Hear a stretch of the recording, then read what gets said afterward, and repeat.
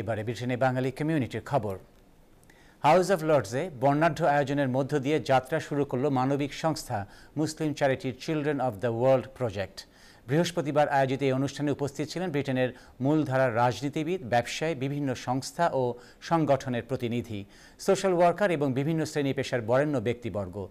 মুসলিম চ্যারিটির fundraising manager Harunur রশিদের সঞ্চালনায় এই অনুষ্ঠানে প্রধান অতিথি ছিলেন হাউস অব লর্ডসের সদস্য লর্ড আহমেদ ও মুসলিম চ্যারিটির ভাইস চেয়ারম্যান বখতিয়ার পীরজাদা। অনুষ্ঠান শেষে শ্রেষ্ঠ ভলেন্টিয়ারদের মাঝে পুরস্কার তুলে দেন লর্ড আহমেদ এবং মুসলিম চ্যারিটির ভাইস চেয়ারম্যান। অনুষ্ঠানে বক্তারা বলেন, মানবতার সেবায় দুই হাজার তিন সালে যাত্রা শুরু করা মুসলিম চ্যারিটি বিশ্বজুড়ে অবহেলিত এবং সুবিধা বঞ্চিত সুবিধা বঞ্চিত মানুষের ভাগ্য পরিবর্তনে কাজ করে চলেছে। There are many orphans, uh, they need home, but there are street children.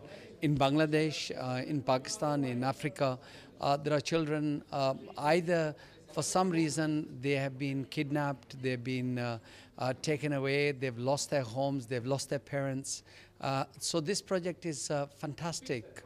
Uh, since 1999, we've been working on a lot of different projects on behalf of Muslim charity, and children projects are involved in that, whether it's orphans or schools or others.